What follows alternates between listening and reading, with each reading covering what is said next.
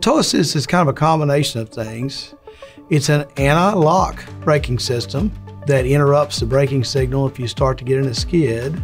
It also, though, will pick up on if your trailer has a tendency to sway. The minute it senses a sway input, then it goes into action to correct the sway. Then finally, it keeps up with how your trailer is doing, both through a diagnostic mode as well as an odometer to keep up with how many miles are on your trailer. I was really surprised at its performance and how it dramatically changed my experience as an operator. I put fairly high mileage on my trailer because of my duties. I haul the trailer almost coast to coast.